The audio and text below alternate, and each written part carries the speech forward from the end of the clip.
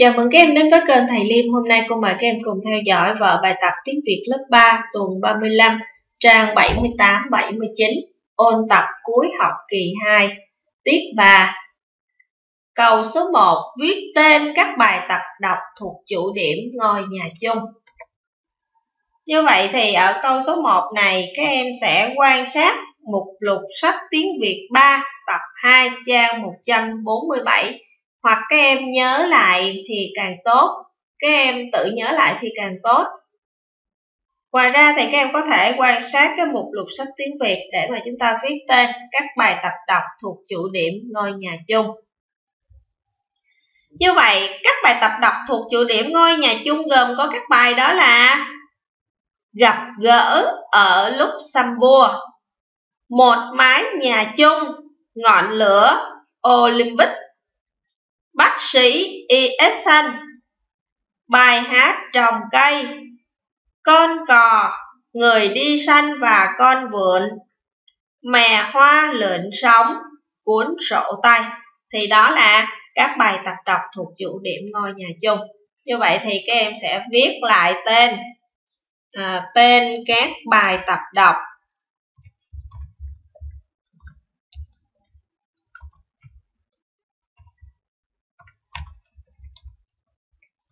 Thuộc chủ điểm ngôi nhà chung.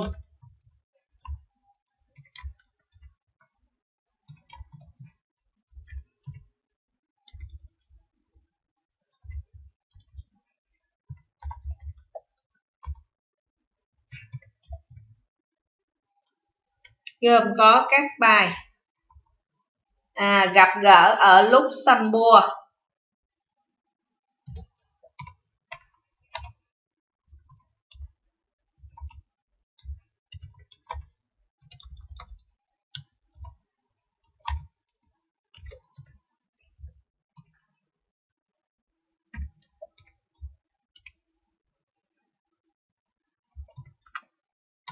Rồi, bài tiếp theo là một mái nhà chung.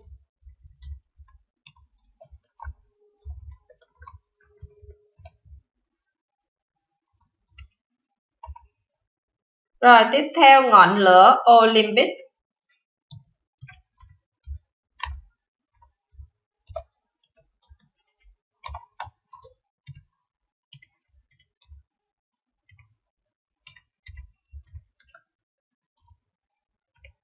Rồi, tiếp theo là bác sĩ Esan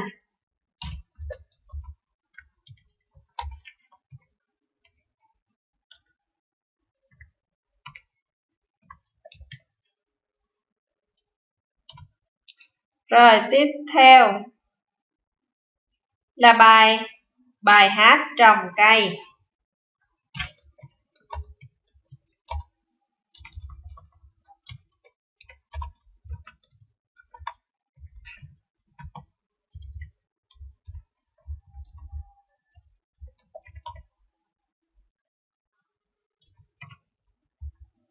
Con cò.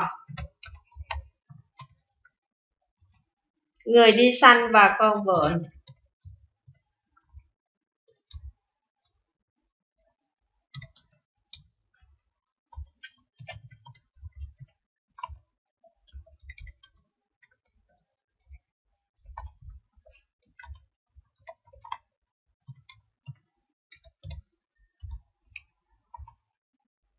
mè hoa lớn sóng.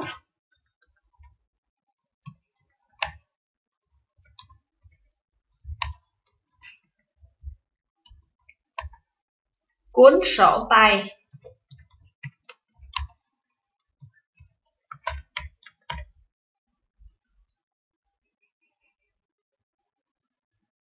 Như vậy, tên các bài tập đọc thuộc chủ điểm ngôi nhà chung, đó là cuộc gặp gỡ ở Luxembourg. Một mái nhà chung, ngọn lửa Olympic, bác sĩ Eason bài hát trồng cây, con cò.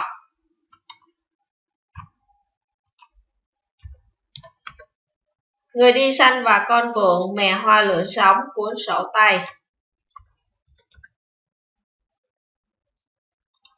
Rồi tiếp theo là câu số 2, viết tiếp để hoàn chỉnh các khổ thơ sau của bài Một mái nhà chung.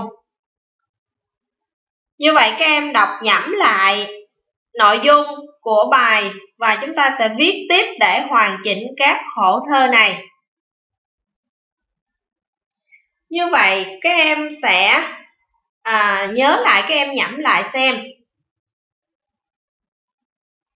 các khổ thơ của bài một, mái nhà chung. Bắt đầu là mọi mái mái nhà, mọi mái nhà riêng.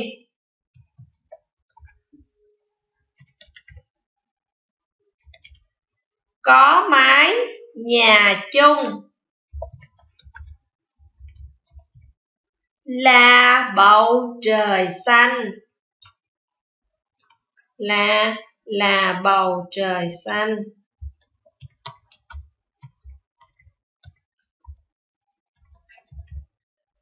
Xanh đến vô cùng.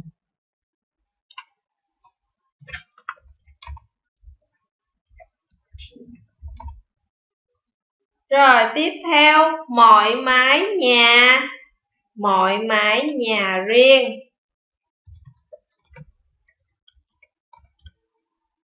Có mái nhà chung.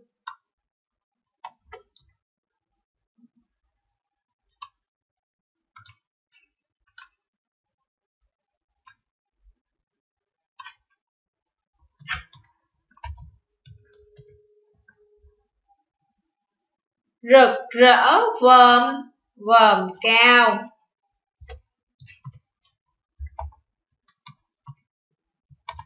Bảy sắc cầu vòng.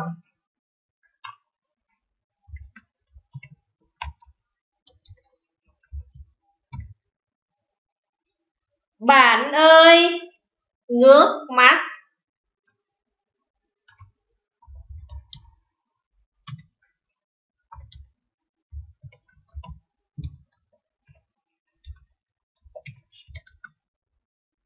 Ngước mắt lên trong.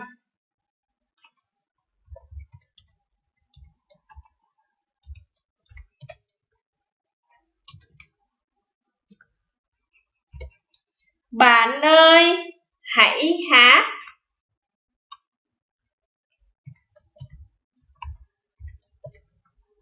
Hát câu cuối cùng.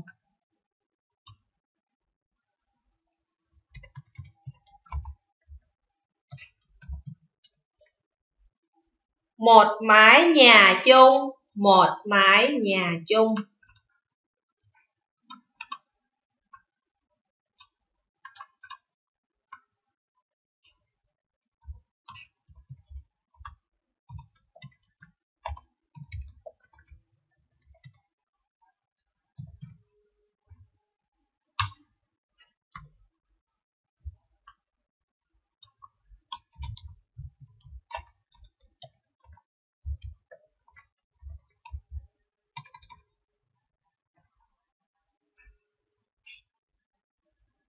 Như vậy chúng ta viết tiếp hoàn chỉnh các khổ thơ của một bài một mái nhà chung đó là mọi mái nhà riêng, mọi có mái nhà chung là bầu trời xanh, xanh đến vô cùng. Mọi mái nhà riêng có mái nhà chung, rực rỡ vòm cao, bảy sắc cầu vòng. Bạn ơi, ngước mắt ngước mắt trong lên trong, bạn ơi hãy hát, hát câu cuối cùng. Một mái nhà chung, một mái nhà chung. Như vậy thì đến đây các em đã vừa cùng cô theo dõi vở bài tập tiếng Việt lớp 3. Thì sau khi xem xong các em thấy dễ hiểu thì hãy nhấn nút thích và chia sẻ cho mọi người cùng xem. Và đừng quên đăng ký kênh Thầy Liêm để được xem những video tiếp theo nhé. Cô chúc các em học tốt và cô chào tạm biệt các em.